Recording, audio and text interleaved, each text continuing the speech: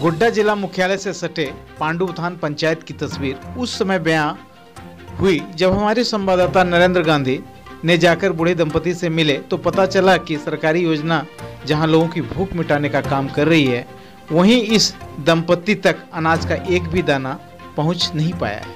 यूँ अलग बात है कि नेटबॉल संघ की टीम की नज़र ऐसे बेसहारे बूढ़े दंपति पर इनायत हुई और उन्हें तत्काल भोजन उपलब्ध कराई गई। गौरतलब हो कि उक्त दंपति विगत कई दिनों से भूखे रहने को विवश थे बताया गया है कि उक्त पंचायत में विगत 10 वर्षों से एक ही मुखिया हैं, जहाँ पंचायत में कभी आम सभा होती है, ना ही ग्राम सभा ही और ना ही इसकी जानकारी वार्ड सदस्य को ही हो पाती। है मिला दस साल के दरमियान में।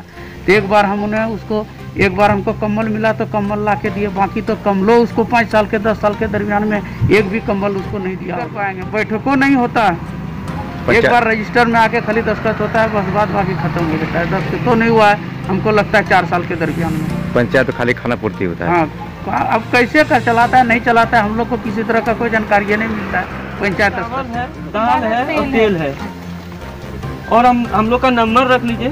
ठीक है जो भी तरह का मदद हो सकेगा हम लोग ये करेंगे। आपके